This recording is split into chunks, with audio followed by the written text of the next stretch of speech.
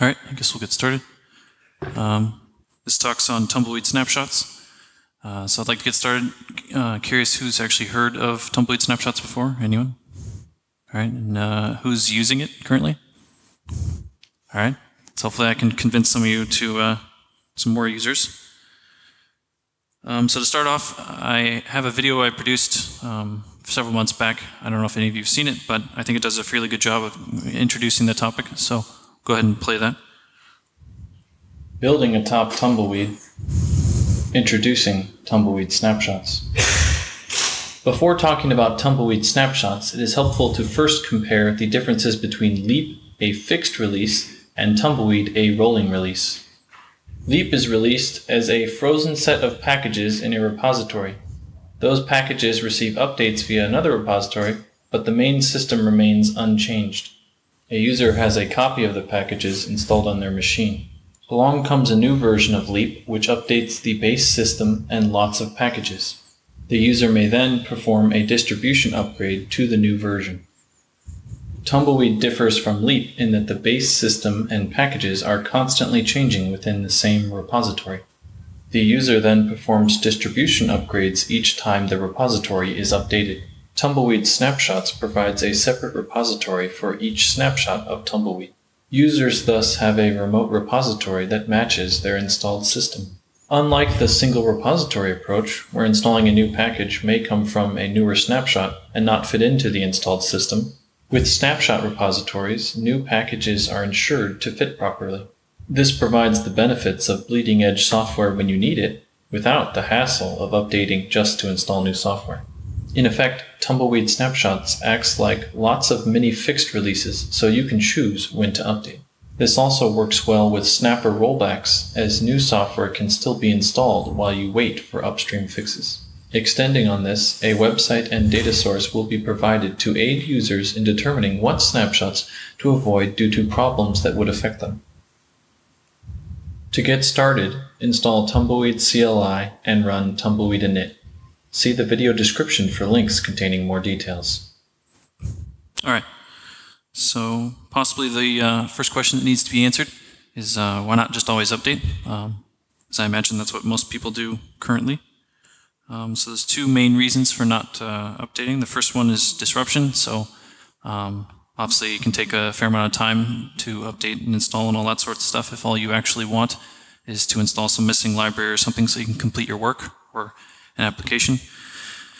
And um, being stuck. So obviously there are problems that occur in Tumbleweed that affect some users more than others. Um, we've had uh, various kernel driver issues that would cause uh, black and white screens, things like that that you want to avoid. So in situations where you've already updated, encountered those problems and rolled back or have read the mailing list and are aware of them, um, you may not want to update, but this leaves you in kind of a precarious situation as we'll look at here in the next slide. So the impact of updating means that uh, you can't always install new software um, because it won't fit in. So if a new compiler just hit Tumbleweed the next day after you updated, you may have a lot of issues if you try to install new libraries um, and depending on how the dependencies are set up, um, they may just install and cause things to crash. So, for example, just a simplified example here, if you want to install the debug info for Mesa and it got updated the next day after you had updated, obviously it wouldn't uh, fit in. And what you really want is the debug info that was compiled for the Mesa that's running on your system. So let's take a look at how um, Tumbleweed Snapshots accomplishes this. So first of all, we're going to take a look at the client-side command line. So just to get everyone familiar with what it's doing when you initialize, so everyone's hopefully comfortable to perhaps try it themselves. When you run a init, it goes ahead, it only modifies the um, main OSS and non-OSS repositories from Tumbleweed. Um, the rest of the repositories are obviously not snapshotted. Um, but it goes ahead and backs them up for you. So by backing them up, places them in a um, repos directory, makes a little hidden one called previous, so they're there if you need them. And it also goes ahead and introduces the snapshot version into the URL, which we'll talk about later. And this allows you, this basically makes your um, repository URLs be able to point to different snapshots easily. So just to be clear, you can undo the initialization.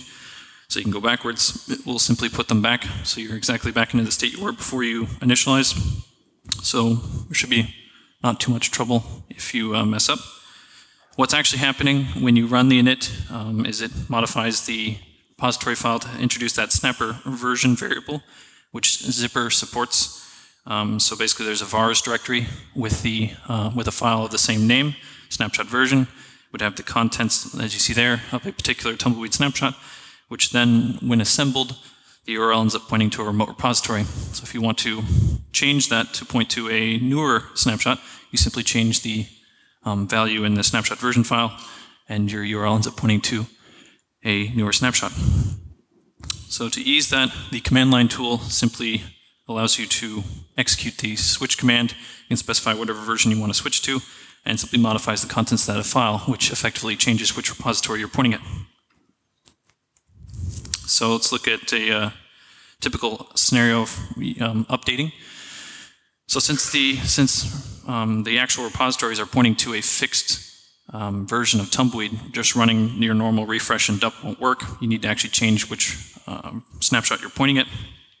So the command line is designed similar to Git, where you basically have a overview status, which tells you the latest snapshot that's available um, on the remote end, the one that you're currently targeting, and the one that's installed. So if you run update here, we can see that we were running the 530 snapshot, and the latest one is 602. So update automatically just picks the latest one, and it would, and which is equivalent to running switch with install. So basically, switch normally just changes the um, the value, the snapshot that you're pointing at. So install simply triggers refresh and dup to run afterwards, just to simplify things. Um, also available through the command line uh, is the history. So you can see here's the uh, list just for context of the snapshots that would have been available on the remote end. And since we just updated, you can see that in our history we were on 530 before and we updated to 602. The fact that it keeps this history makes it easy. Obviously, if you're using Snapper, you can simply roll back and all the, the configuration files will have rolled back as well. Um, but if you're not or you're doing something manual, you can use this. If you run tumbleweed revert, uh, it will simply look in that history file and go back to the previous one, which again is equivalent to you manually selecting which snapshot you want to go to and running switch. So now let's take a look at how the remote snapshots are um, created, so you get an idea what's there. So there were several iterations of this. Um, the first one was basically trying to create a whole bunch of copies of the repositories with symlinks for the files in common. The idea behind this was simply to allow mirrors in the future to easily be able to get their own copy. Um, was quickly replaced with using hard links, which the mirrors should be able to handle with rsync, no problem. And after waiting quite a while, without uh, getting official hosting, I ended up deciding to host it myself. Uh, so I used Amazon S3 to actually host all the files, which required a slightly different approach since they don't support hard links, since it's not actually a real file system. So we'll talk about what that structure looks like. So the um, S3 structure basically has directories for each one of the snapshots and a shared directory where all the actual RPMs are placed, and then a uh, latest and list file, which that command line tool will access so you know which ones are available. Uh, the structure within an individual snapshot basically contains the most important piece is the repo data, but there's some other files in there. Um, so the repo data, if you're not familiar, is the bit that um, Zypper will request when you run refresh to know what packages are actually available. And then there's some other files that I just generate, the uh, disk file, which gives me a rough idea of how much that snapshot's using, and the uh, RPM list and unique list, which we'll talk about more later. The shared directory then is what contains all the RPMs. So basically, anytime a new a snapshot introduces new RPMs, they're all placed in one big shared directory. And there are redirects used, and this is basically just avoiding the fact that you can't use hard links or any kind of symlinks on S3. So we basically accomplish the same thing by using redirects. So the current snapshot is always pointed to the live mirrors, um, and then the any any older snapshots um, basically point to the shared directory for RPMs and the repo data served out of the uh, directory itself. So to visualize it another way, basically have a giant shared directory with all the RPMs from all the snapshots in it. And then we basically create virtual repositories on top of that by basically stacking the repo data with the redirects on top of the shared directory. So we can effectively serve multiple snapshots with the same set of shared RPMs. So to get another idea of what that looks like when you're making a request, let's imagine we are trying to install the foo package for this the 602 snapshot. That would generate a GET request for the 602 snapshot. of that RPM, which would end up being redirected to the shared reposit- the shared directory for the same file. So if we were running a older snapshot and we did the same thing, we would get a request for that snapshot and it would be rejected to the same place. So basically, it just saves us the hassle or the space of having to store um, loads of the same thing. So how this is accomplished, um, basically, run rsync against the uh, the active snapshot that's published on the official mirrors, get a list of all the files that are in that snapshot. We look at the previous snapshot that we have on uh, S3, and we have the list of all the RPMs uh, contained within. Do a diff of those. We determine what unique RPMs were introduced in the uh, latest snapshot. And from there, we can take those two pieces of information, and we can uh, rsync all the files to whatever machine is performing the snapshot, and then upload them all to Amazon shared directory and then we basically copy the repo data and a few other things, but simplified there, to the um, particular snapshot directory. And to delete, basically do the exact opposite. So if we want to delete the older snapshot that we're working with there, we have the file list both available on S3, do uh, basically a unique check to look for whatever was unique in the older one um, when compared to the newer one, remove those from the shared directory, and then delete the actual repo data directory.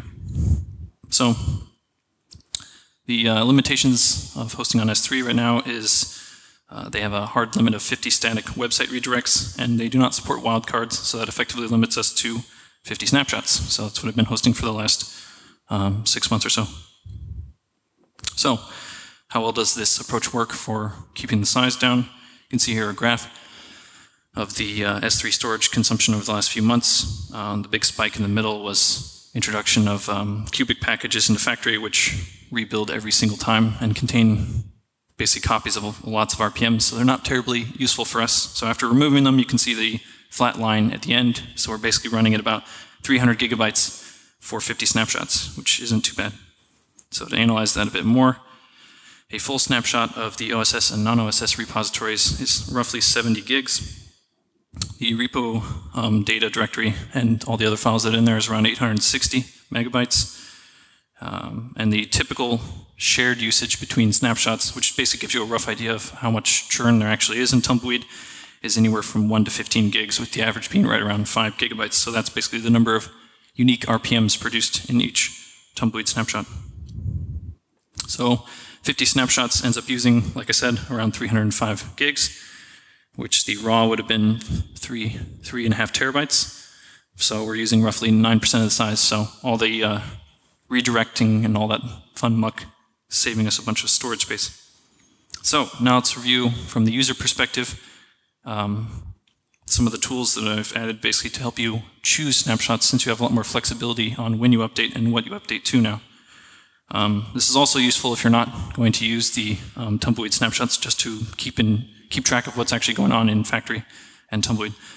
Um, so basically the two main things is a score is introduced for each one of the snapshots. There's two main parts of the score, both a feedback score, which basically comes from looking at the factory mailing list and possibly expanded in the future, but Bugzilla as well, trying to get an idea of how many problems and if there are problems with the snapshot that people are facing.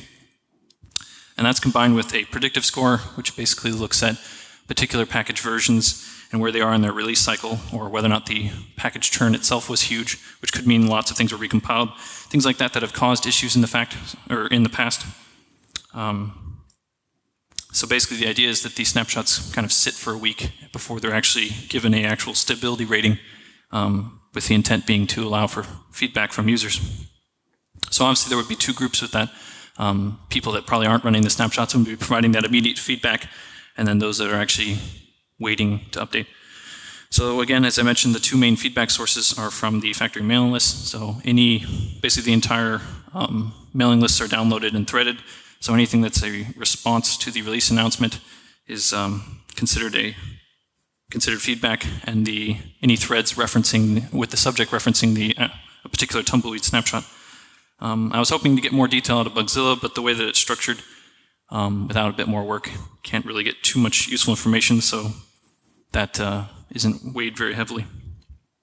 The idea behind the predictive score is basically for users that, uh, so for example, my, my parents uh, have my mother running Tumbleweed, and I don't want to have to like babysit when she updates and things like that. So the idea with this being that the predictive score is overly cautious, basically to avoid anything that has caused issues in the past, so that hopefully someone like that could simply update to the utmost stable version of Tumbleweed, and they may skip 20 or 30 snapshots in between until that happens.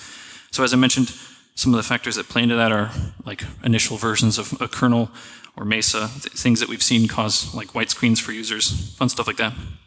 Or if the compiler changes, or like I said, there's a large churn and just um, packages change in one snapshot.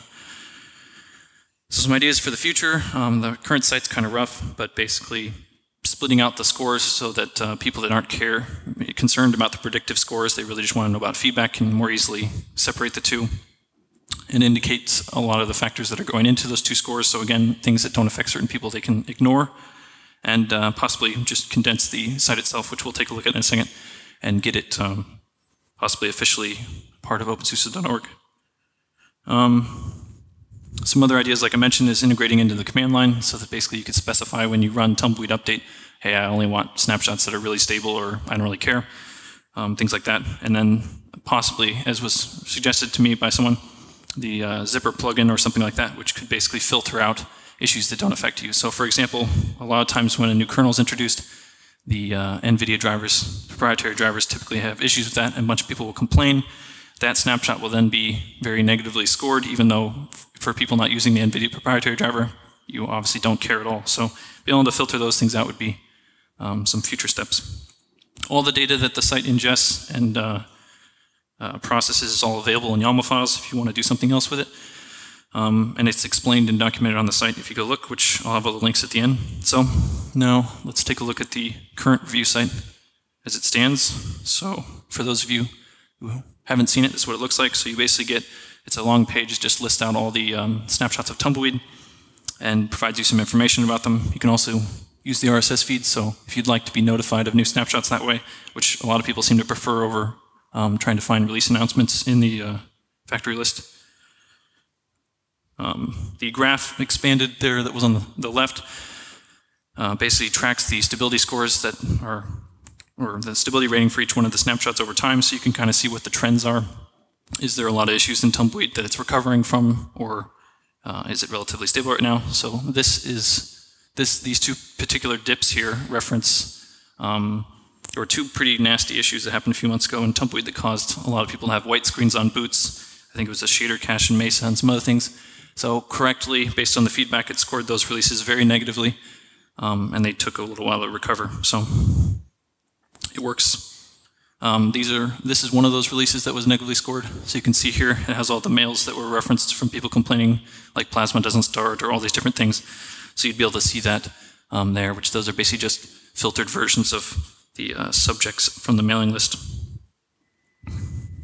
Um, this is just demonstrating the um, yellow border around the 55, which simply indicates that I don't have an actual snapshot of that particular release of Tumbleweed. So if you're looking to install that, um, you would either have to have been running it live or um, wouldn't be able to get it. And that's indicated more when you click on the actual uh, releases themselves. So here's an overview of what that looks like if you look at one of those releases. Uh, so if we zoom in here, you can see at the bottom, it uh, indicates the versions of some of the kind of primary system components and it bolds them when they change. So you can kind of get an overview of what version these snapshots are running. So again, if you're trying to avoid particular um, versions that cause issues on your system, you can go back and look in the last 10 snapshots or whatever you need to do and figure out where it was that it was changed and update just before it. There's links at the bottom there to the uh, now mailing, mailing list announcement and the full list of um, packages so you can control F and find whatever you're interested in finding the version for. And at the bottom there, it provides you with the uh, tumbleweed switch uh, command to install this particular snapshot. And like I mentioned before, if there was a yellow border around it, you'll get a little message at the bottom that says, I don't have a snapshot of this particular release, so you can't install it, but you can uh, see all the feedback for it. So next question, uh, is anyone else, is anyone actually using it? So based on the uh, statistics I get from Amazon, there's roughly 6,000 hits per day. I obviously don't know how many of those are unique hits.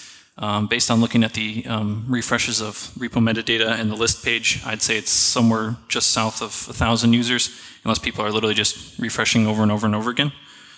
Um, I'd like to be able to do the same thing that download.opensuse.org does, which is uh, Zypper sends them an extra header, which basically lets you know, lets you differentiate between machines. But uh, that'd be something we could do once it's once we uh, get official hosting. Um, just a quick breakdown of countries that are using it, if anyone's curious. Germany at the top there. So now you may ask, what are the downsides from using tumbleweed snapshots? As far as as far as I can reason, there aren't any. Um, so basically, you should all uh, install the CLI tool and run tumbleweed init. So one thing to remember after you do that is that updating is a bit different. So you can either use the all-in-one tumbleweed update command, which runs basically everything you see on the right, which runs switch and then runs a refresh and dup for you, which you can do yourself obviously if you want. Um, some other things to note, if you're using Packman repository or develop projects or things like that, those are not snapshotted. So if you decide you want to update to like a month old snapshot of Tumbleweed and you have Packman and you're delping at the same time, you may have issues. Um, so generally, generally if you are using Packman, basically you need to update to a relatively recent um, snapshot if you're actually going to update that as well. Um, as I mentioned, there is no response in the mailing list, but setting up snapshotting for something like that should be relatively simple if we wanted to do so. Um, even easier if it was built into OBS, which could be something to look at. The uh, resources mentioned um, in the slides here are all based around my hosting, uh, tumbleweed.boombatower.com. Um, so the actual snapshots themselves are basically mirroring the download.opensuse style, so they're all at download.that. Uh, the review site that you saw there is right there, and the main page is a dashboard that's been around for a long time. If you're curious, it kind of shows you what's upcoming, shows you what's in the develop projects for Tumbleweed. And uh, I write stuff at Release Tools. It's a blog, so there's information about a lot of these changes. But that's all I got. So I don't know if anyone has any questions or comments about uh, the snapshots. Do you want to do do mic or?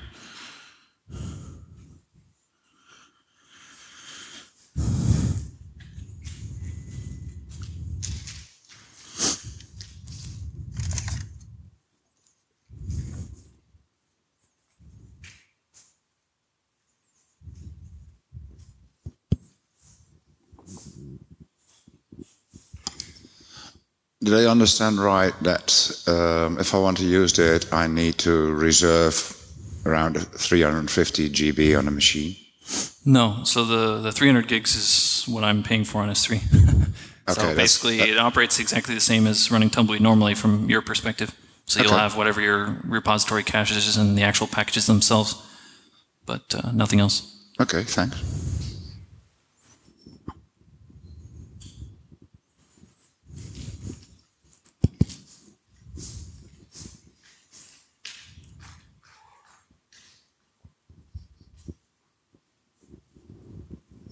Thank you. Jimmy, I think this is an excellent idea. Two questions. Once I've got it installed, if I want to update, if I want to patch, I just run zypper dup, just as, just as I usually do with Tumbleweed. Is Right. that correct? Yeah. Okay, until I So want to, basically, like I said, it's so the actual Tumbleweed repositories themselves will be fixed if you run dup, but any of the other repositories like the uh, Tumbleweed update repo or things like that, when you run dup, will obviously update.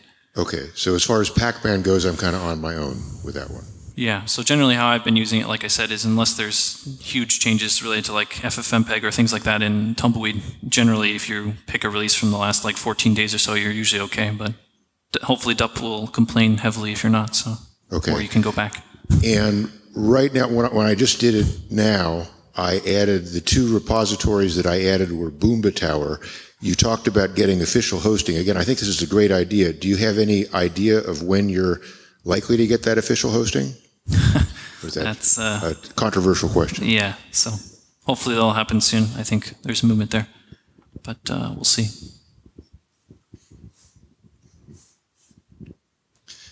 Um, I also think it's a great idea, and I see a demand which I see related, which is um, for Leap that we have versions with a with a dot version, and then people are saying that you know one version of Leap is not that long supported. So I have in my mind an idea, and you can tell me that is applicable to use a similar approach to update to a leap version. Therefore, of course, it wouldn't be like the snapshot, but one specific version of Leap? Would it make sense? Uh, I'm not sure I fully understand what you're asking, but basically, Uh, okay, sorry. To um, ask a simple question, can we apply the same on Leap to say I only want to have whatever is the latest version of Leap, or maybe the the oldest version that is still supported, or maybe the latest minus one version of Leap, because I want to apply something similar. I do not want to you know be always on the most recent. I do not want to make this version switch manually. I want something like this tumbleweed switch to uh, be able to select that in an easy way.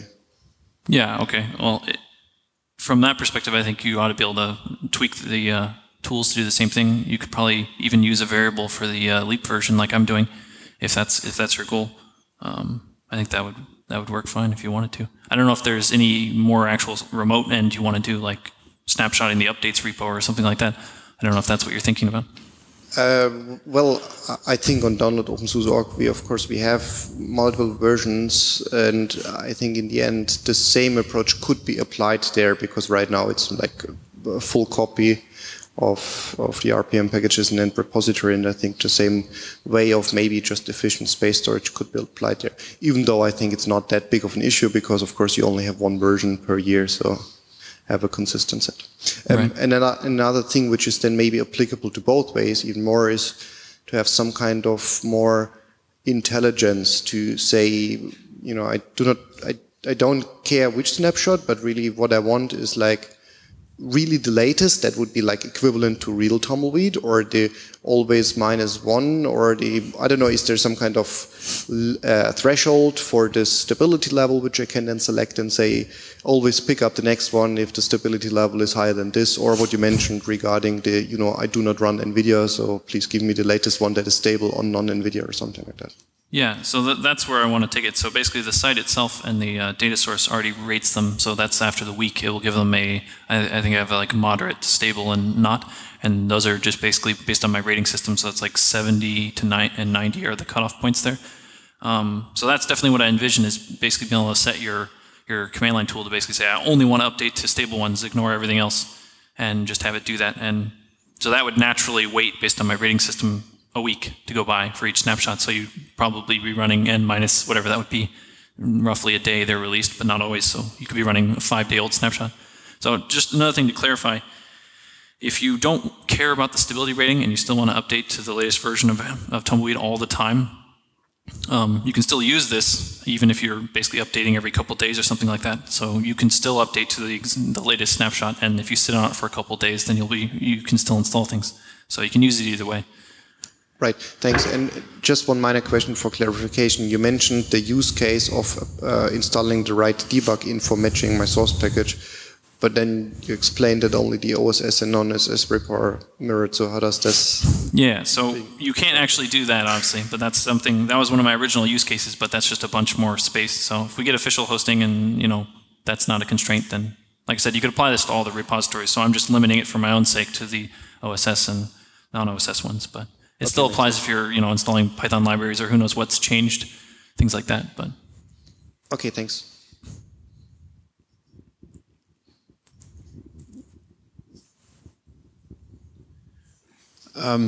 I think also it's a great idea. Is it possible to switch back to an older sma- s- uh, snapshot? Yeah, could so just- you can you can either use like I showed there the history that it just keeps on your own machine of snapshots and just run revert, or you can just run switch and pick any version that I have on the remote end. So I've tried it a bunch of times in like a container and whatnot. So you can take a, the current Docker container and you can install the CLI tool and just say I want to install something from two months ago. And again, that's going to depend on the packaging whether or not that works without issues. So sometimes when there's a ton of change, you can't actually go backwards easily because configs have been migrated, stuff like that. But generally, uh, if you're not going back too far or if there hasn't been too much change, it works really well. So like I said, the preferred setup is if you actually have like Snapper or something else, so you can just straight up roll back to an old version and sit on it after you don't like it. But you can use this tool to go backwards, like I said, with varying degrees of success. Yeah, that was my second question. The the in case an update doesn't go too well, you would rather recommend to use Snapper to switch back to the right snapshot rather than switch to older snapshots of uh, tumbleweed repos.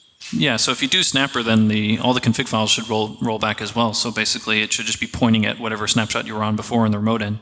So it should just work naturally. So if you have Snapper, I think that's probably the cleanest way to do it.